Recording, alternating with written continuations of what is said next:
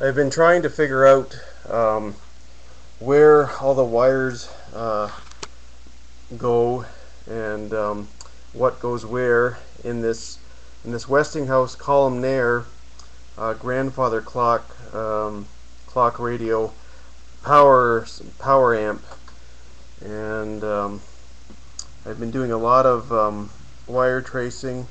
It's been very hard on the eyes and very difficult to to look at a schematic which is kind of abstract and actually see how how the the parts are actually laid out.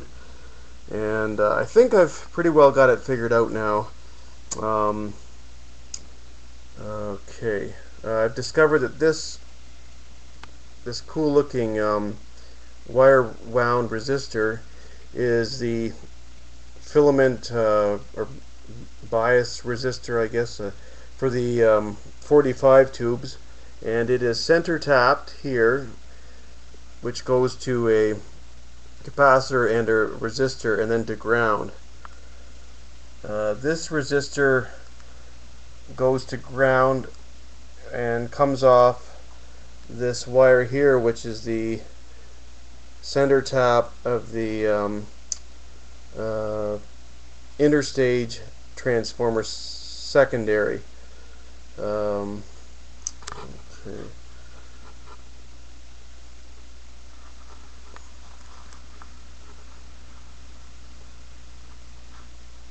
I've been um, studying all these um, different wires here. These these go to the uh, um, filament and plates of the rectifier tube on the other side. There's a little shelf and over here all these wires going through this this grommet go to the um, uh, plates and grids of the 45 45 tubes.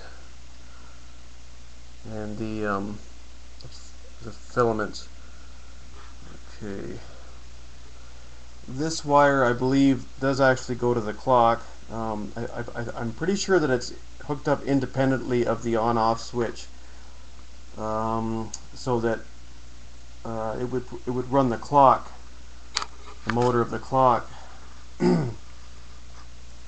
Okay. Uh, okay here this uh,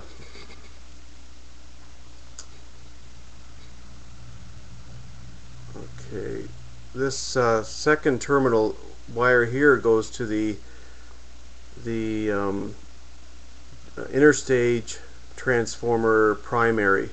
So this is where um, this is where I would have to uh, take my preamp and hook hook the the plate of the preamp tube up to here. Um, okay.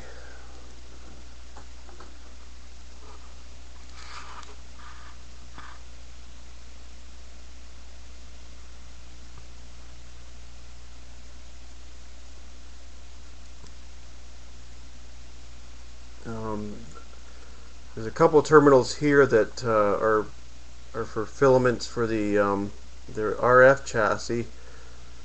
And um,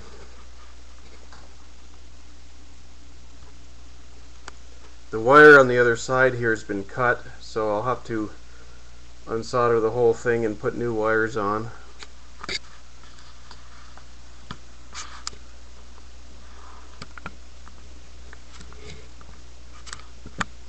And this should sound pretty pretty nice when I get it going uh, not real loud, but um, should have a nice sweet uh, sweet tone. And um, I'll just um, run a, a preamp possibly with tone tone controls or equalizer.